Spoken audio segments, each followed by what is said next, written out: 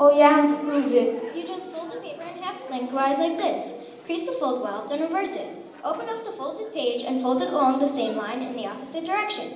In other words, turn it inside out and crease it again. There, ready to go. That thing will never.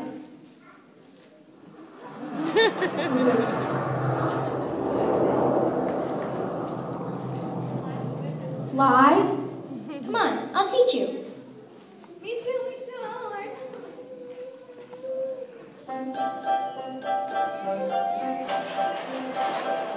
First do the standard piece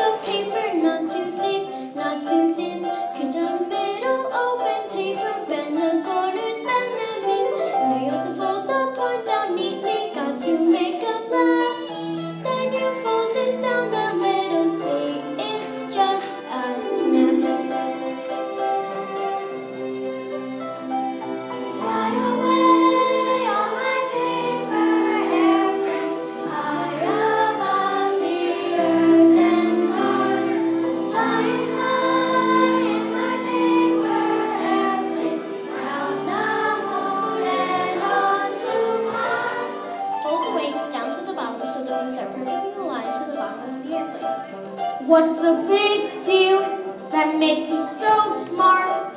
I can do this if I try with all my heart. Bold and tough. I know if I try with a little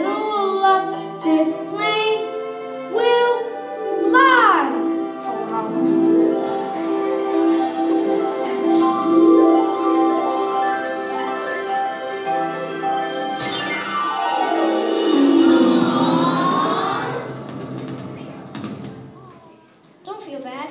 Unfold the wings so that they are perpendicular to the body of the airplane form a flat surface.